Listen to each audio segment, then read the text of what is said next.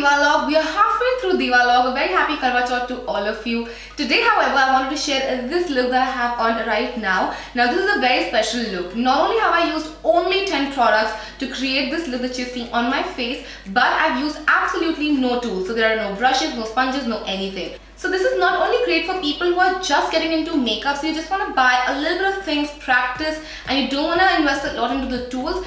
It's also great for people who would be traveling back to their homes for Diwali and you don't want to carry your whole makeup stash with you. You just want to carry a little bit of things and put together a look. You can also do this if you're an office going person and you need to reach a card party right after office. So you have to carry a little bit of products in your bag that you can get a whole face of makeup with. There are endless possibilities with this makeup. You can of course just switch up the kajal too, just switch up the smoky eye look and it would be you know customizable for any one of you.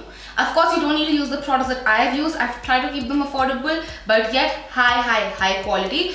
So yes, if you want to know how you can get this look without any tools and with only 10 products, then please keep on watching. I'm starting off with nicely moisturized skin. If you have dry skin, what I would recommend for you guys is going in with a loose powder and applying it all over your face, like pushing it down into your skin before moving on to your foundation. This will prime your face and keep your face matte for longer. Because I have dry skin, I'm going to go directly in with my foundation after a moisturizer. I'm going to be using the PAC HD Liquid Foundation and I'm going to take a pump and a half of this on the back of my hand. I'm first warming this up so that it melts into my skin directly and once it's all warmed up, I'm just going to stripe it across my face first. Also going down my neck. Now what I'm going to do is I'm going to start patting this into my skin. You don't want to rub it. That would just shear out the coverage of the foundation and would also make it look streaky. Just start patting it into the skin like you would pat any serum into your skin.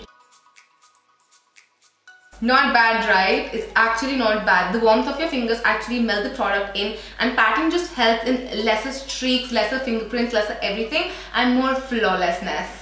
Next up, I'm going to use the NYX Sculpt and Highlight Face Duos. Now, this is a two-in-one product. You have a contouring product and you have a highlighting product, a concealer-ish sort of a thing right here. Now, a lot of companies do products like these, so they're great if you're looking for something that will help you in getting more done without having to buy a lot of products.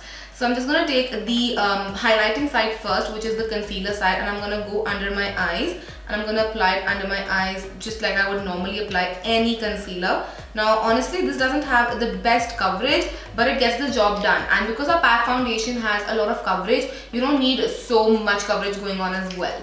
And if you're someone who loves sheer coverage you're going to love this of course. So I'm also going right in between my brows on the bridge of my nose my cupid's bow as well as my chin all of the areas that I love to highlight and then what I'm going to do is I'm going to take my ring finger because that's the gentlest finger for your eyes and again I'm just going to start patting it in. You don't want to rub you don't want to swipe just pat pat pat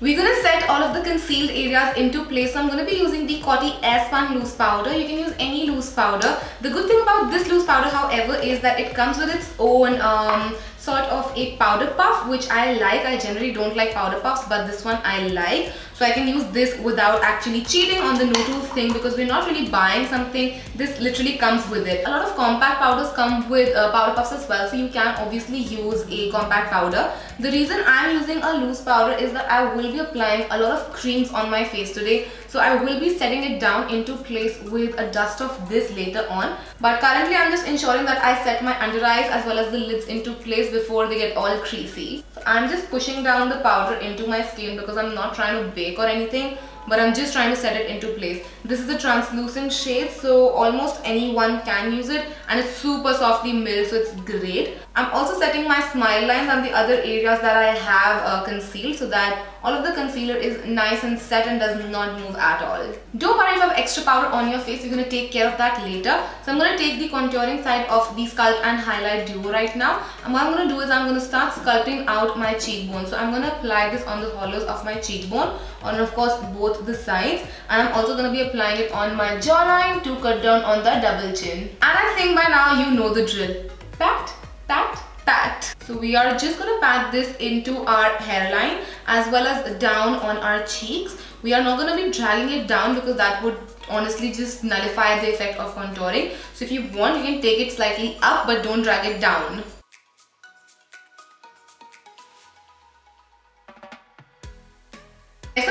A color cream which is a collaboration between me and YBP. I'm using the shade Witch which is one of my personal favorite shades. Again, this is a multitasking product. You can use it on your eyes, your lips, your cheeks. I'm not trying to promote my own product. You can use your own lipstick as well if your heart desires that. But I'm just saying, you know, something like this is out in the market. So I'm to take a tiny drop of it because the pigment is pretty potent. So I'm to take a very tiny drop of that. And what I'm to do is I'm to apply it on my cheeks. I'm just to smile. I'm to apply it on the apple of my cheek. And then I'm just to blend it out to get a nice flushed skin. The pigment, as I said, is very potent, so you want to take a very small amount and you want to blend it into your skin. And I'm going to use Master Strobing Stick by Maybelline. I'm not going to directly apply the stick on my cheeks because I feel that moves the foundation. So I'm going to first apply it on my hands, like I'm just going to take a little bit on my hand and then I'm going to pick it up with my finger so that it's nice and warmed up and I'm gonna pat it on the highest points of my cheekbones. This would give you a really nice glow. You can use a liquid highlighter as well if you want to use that. I just wanted to bring in all sorts of variety for this tutorial. I'm highlighting the tip of my nose as well because I love to highlight the tip of my nose and my cupid's bow. I have a little bit powder on where I like to highlight on my forehead so I'm just going to get rid of the powder first so that I can highlight right here and right here so I've just drawn two dots and I'm going to blend it out now. I haven't moved the stick on my forehead because I literally just applied it in a dot way. If you move it, the foundation moves. If you just like dot it on, it doesn't move. It's weird, I know, but that's how life is. I'm gonna go back in with my loose powder and my powder puff and I'm gonna lightly dust my face with this powder so that everything is set into place. All of the creams are set into place. There is no movement of product because that's something we don't want to happen and just you know ensuring everything lasts really long. Don't worry if your face looks slightly white right now we will handle it. And now for the magical product we're going to be using a setting spray. I'm using wet n wild photo focus natural finish setting spray. And i'm just going to take a quick little shower in this one. This will get rid of any excess powders on my skin so it will make my skin look more skin like and still make sure it's set into place. So we won't have any creasing nor any excess powder.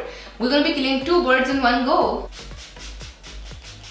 you just want to fan this down into your skin so that your skin can absorb all of the liquid and get rid of all of the powders. Next up, moving on to eyebrows, I'm going to use NYX Micro Brow Pencil, one of my favorite brow pencils of all times. Super easy to use and also the fact that it has a spoolie is just a bonus point because you don't need anything else. You don't need any other tool and you don't need any other kit. So this is just super easy to do and it makes your brows look microbladed which is something I love. Once I have filled in my eyebrow, I'm just going to take the spoolie side and I'm going to comb my eyebrows through. Coming to my eye makeup, I'm going to be a little bit daring because what's the fun without that? So I'm going to take whatever's left from that color cream and I'm going to apply it into my crease. So I'm literally just going to place it right here and I'm going to blend it with my finger. So I'm just to apply it in my crease right like that and look how gorgeous it has blended out. That's to be our transition color. Once my transition color is in place, we're to deepen up the crease and for that I'm to use the Chambor Orosa Sculpting Eyeshadow. This is a chubby stick, sort of a chubby stick for your eyes. This does have shimmers in it but who says you can't wear shimmers in the crease?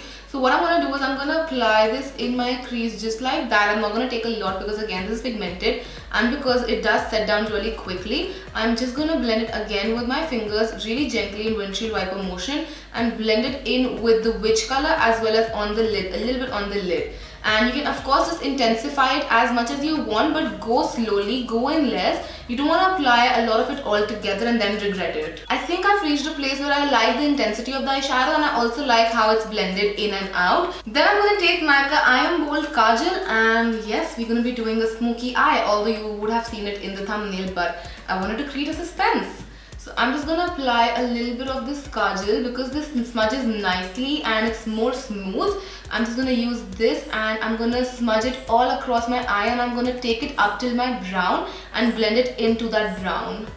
Again, you can take your time with this although I feel like generally like a lot of Indian women do smoky eyes with kajal on a daily basis so this is something you can do with your left hand or with your non-dominant hand. I don't want to discriminate.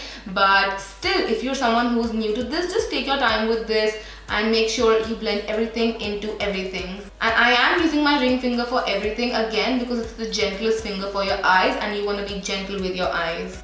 Just layering up a little bit of the kajal on the just letting a little bit of kajal on the eye to darken and intensify things up. I think that looks nice and blended and even. Um, if you're worried about this creasing, it won't because all the products I've used are supposed to settle down on your skin. If you're still worried about creasing, if you have oilier lids, what you can do is you can take your loose powder again. Because this is translucent, it would not cover up your smoky eyes. You can just take a very little amount of it and dab it onto your lid so that any moisture from these cream products will be absorbed and they would be set and just you know invincible. What I'm gonna do is I'm also gonna apply this in my waterline this is a kajal so you can of course apply it on your waterline as well. Ooh, that is intense. Like I did not want it to go so intense but that has become intense.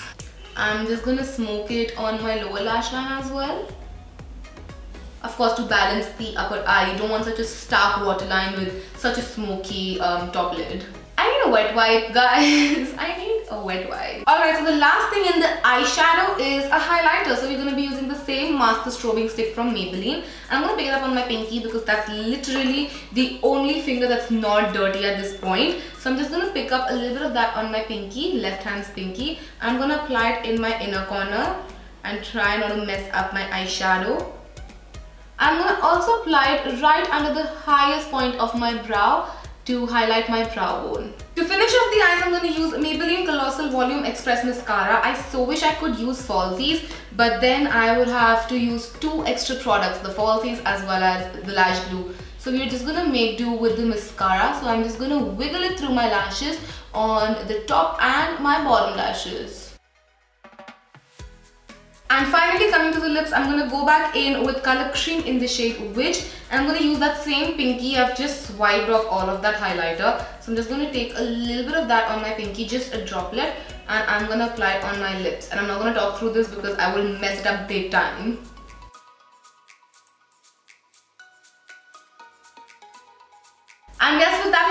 Look. I hope you guys enjoyed this and if you did, then don't forget to comment and subscribe. It would mean the world to me. I will see you guys tomorrow. Till then, take care.